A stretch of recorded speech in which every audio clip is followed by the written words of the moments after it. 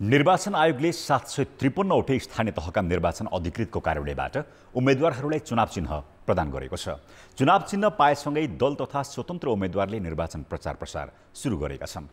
यता मतपत्र छपाईदेखि सामग्री ढुवानीको कामलाई तीव्रता दिएको आयोगले उनपचास जिल्लामा मतपत्र ढुवानी गरिसकेको छ। वैशाख तिस गते हुने स्थानीय तहको चुनावका लागि एघार र बाह्र गते एक लाख त्रिपन्न हजारले मनोनयन दर्ता गरेकोमा आठ हजारभन्दा बढीले फिर्ता लिएका छन्। उम्मेद्वारको अन्तिम नामावलीसँगै आयोगले उनीहरूलाई चुनाव चिन्ह प्रदान गरेको छ।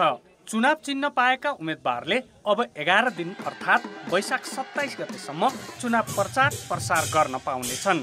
जिल्लामा आमसभा जुलुस गर्दाखेरि स्थानीय प्रशासनसँग समन्वय गरेर गर्ने प्रचार प्रसार गर्दाखेरि मर्यादित भाषाहरू प्रयोग गर्ने समाजमा सामाजिक सद्भाव बिथोलिने खालका चाहिँ प्रचार प्रसार नगर्ने गाली गलौज नगर्ने एकले अर्कालाई लान्छना लगाउने कुराहरू नगर्ने निर्वाचन दलका अथवा उम्मेदवारका चिन्ह दलको झन्डा आदि लगाइएका टी सर्ट टोपी गम्छा होइन?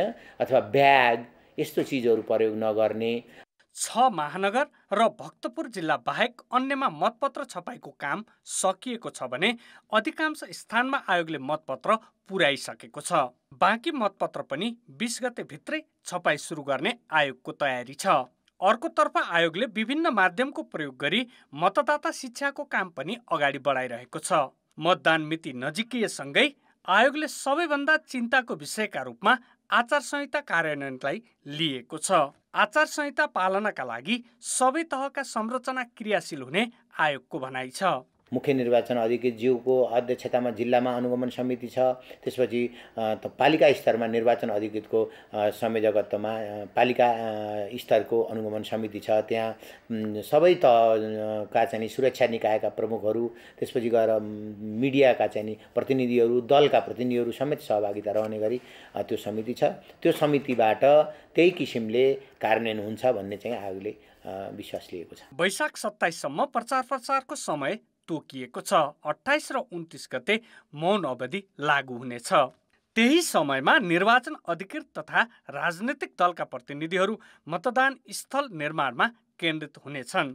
तिस गते बिहान सातदेखि साँझ पाँच बजेसम्म मुलुकभर एकसाथ मतदान हुनेछ। कान्तिपुर समाचारका लागि क्यामेरामा सञ्जय लुइटेलका साथ दिपक आचार्य काठमाडौँ।